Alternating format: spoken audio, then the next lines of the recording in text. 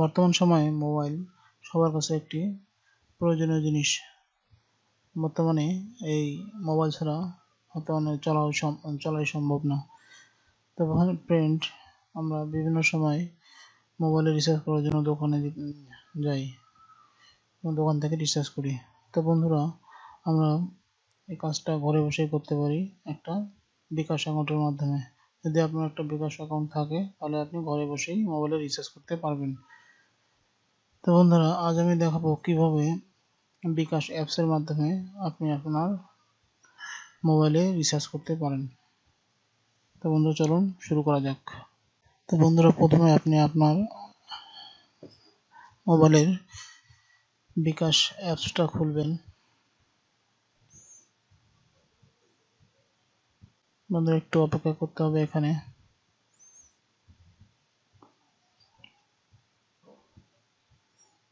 তো বন্ধুরা, এখানে আপনি আপনার বিকাশের পিন নাম্বারটা দিয়ে দেবেন।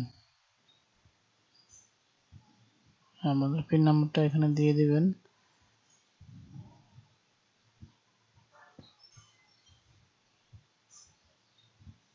তো দেখুন বন্ধুরা, এখানে বিভিন্ন অপশন আছে। এখান থেকে আপনি মোবাইল রিচার্জ অপশনটা সিলেক্ট করবেন। বন্ধুরা, এখানে আপনি আপনি যে মোবাইলে রিচার্জ করতে চান, সেই মোবাইল নাম্বারটা এখানে দিবেন। যদি আপনার মোবাইলে সেভ করা থাকে, শুধু দেখায় দিবেন। তো বন্ধুরা, এখানে আপনি কত টাকা রিচার্জ করতে চান, এখানে লিখে দিবেন। অথবা আপনার বাম পাশে একশো পঞ্চাশ তিরিশ তার যেটা সিলেক্ট করে দিয়েও রিচার্জ করতে পারেন। একটু অপেক্ষা করি, বন্ধুরা। বন্ধুরা, আবার পিন নাম্বার দিবেন এখানে। আপনার বিকাশ অ্যাকাউন্টের পিন নাম্বারটা পুনরায় এখানে দিবেন।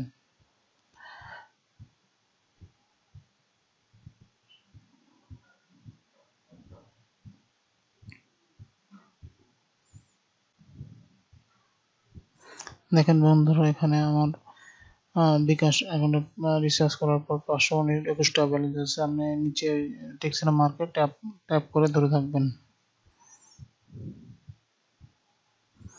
দেখেন কনফার্মেশন বিকাশে কনফার্মেশন মেসেজ আসছে, বন্ধুরা। তো বন্ধুরা, এভাবে আপনি বিকাশ অ্যাপ দিয়ে খুব সহজেই মোবাইলে রিচার্জ করতে পারবেন।